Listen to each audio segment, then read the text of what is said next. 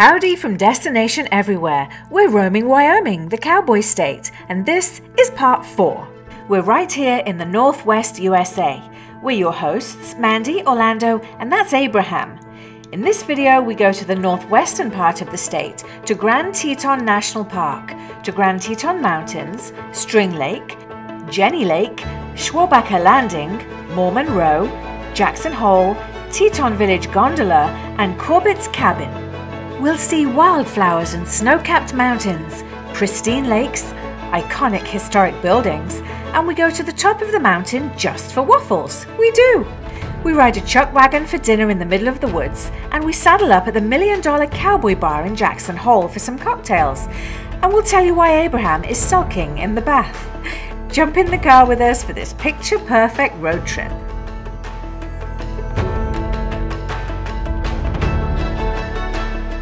This is Grand Teton National Park, and it's easy to drive around with signs for turnouts everywhere, so you never miss a perfect shot.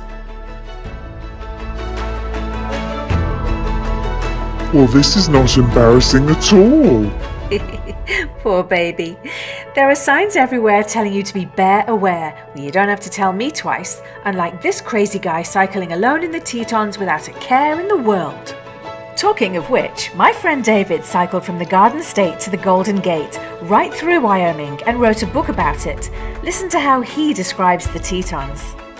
The peaks, Grand, Middle, and South Tetons, Mount Owens and Teewinot, all spires fracture the sapphire sky as they rise uncloaked out of the sage plateau. Trees dress their feet, cling to a precious few places on their flanks, and disappear altogether halfway up their summits. Above that, it's all grey granite, dripping with snow couloirs and glistening pure white under the sun. What great cataclysm created them with the gouged out sides, as raw as rock can be. Wow, how poetic was that?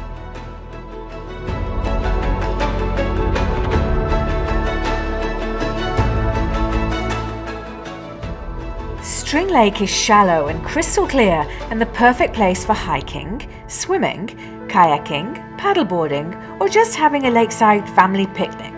There are no rentals here at the lake, so you have to bring your own toys.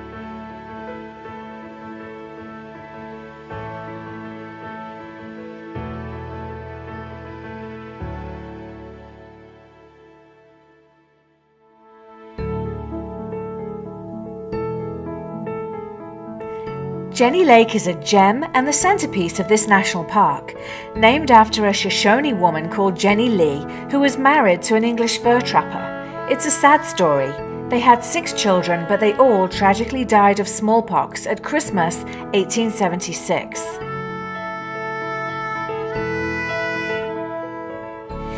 Jenny Lake's quite touristy and gets crowded, there's a visitor's centre and even a lake shuttle to take you over to the other side for those who like hiking. I like hiking, but I'm too scared of bears, especially when I see signs like these. And just remember that the weather in the Tetons can change dramatically and go from this to this very quickly. For that perfect shot of the Tetons with its mirror image reflected in the Snake River, photographers come to Schwabacher Landing, especially at sunrise and sunset.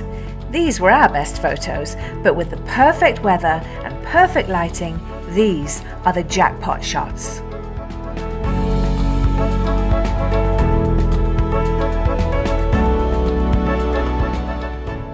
Around the corner is the best place to see Tetons glaciers with the most gorgeous backdrop of green sagebrush and yellow arrowleaf balsam root. And yes, it's a member of the sunflower family.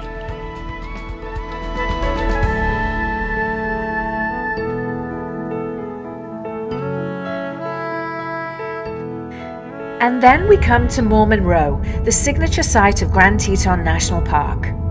Mormon settlers from Idaho came here to what was then the town of Grovont in the 1890s. They built farms, churches, and schools and were a tight knit community. And these are the iconic Moulton Barns built by brothers John and T.A. Moulton. This was T.A.'s house, probably the most photographed barn in the whole world.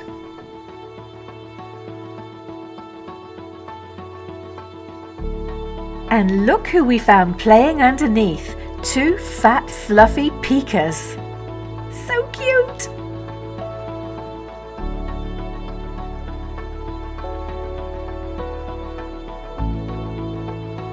And a few houses down is this pink house, and that was his brother John's home. Time to explore the town of Jackson, nestled in the Jackson Hole Valley. Downtown are covered sidewalks, and I was welcomed by a cuddle from this lovely grizzly. He's plastic, so it's okay. Crossing Broadway Avenue, we find the famous Jackson Town Square with its antler arches, and everyone wants this iconic photo before saddling up for a few drinks across the street. Don't miss this. Here we are at the Million Dollar Cowboy Bar in Jackson, Wyoming.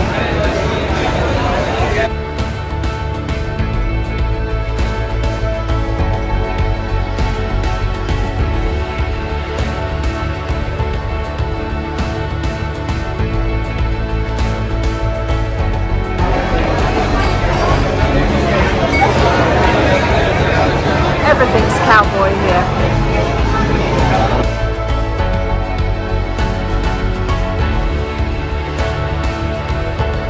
This is my seat at the bar. And this is my drink waiting for me.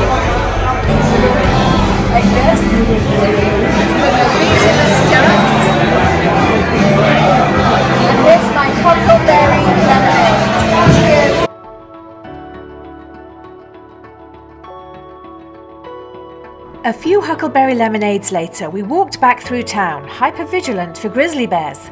Don't laugh, the most famous grizzly, nicknamed 399, was walking through the square with her four cubs in November 2021. True story.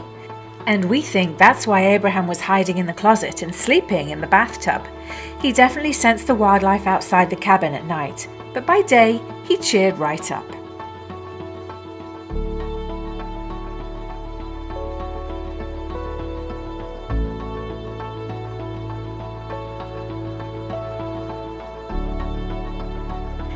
Even though it's only June, we're going to the Teton Village Ski Resort to take the gondola up to the top of Rendezvous Mountain. As we make the ascent, the landscape is lush and green, and it's just a little bit cloudy. But then it gets really cold, snow and ice are on the ground, the weather changes really quickly, and we're freezing. The only way to warm up is at Corbet's Cabin, top of the world, waffles.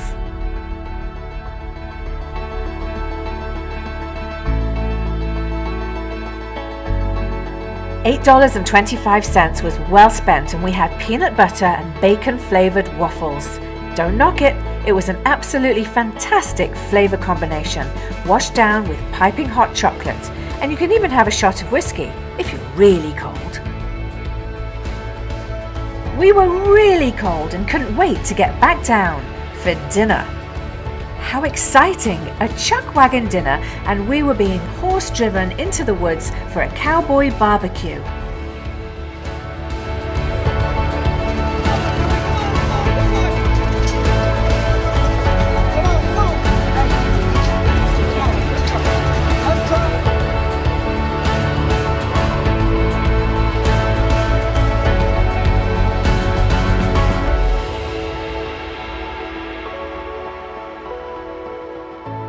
After all the wagons arrive, we go into the rustic restaurant for an evening of food, drink, and entertainment.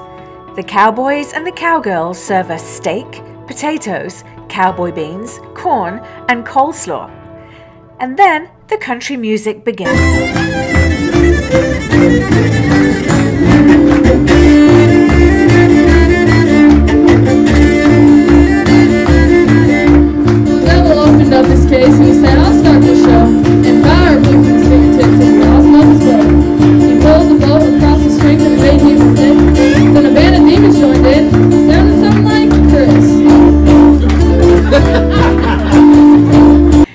Now everyone sing along.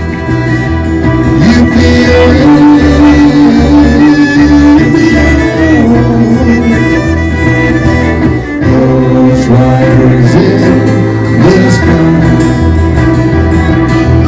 Those riders in the sky.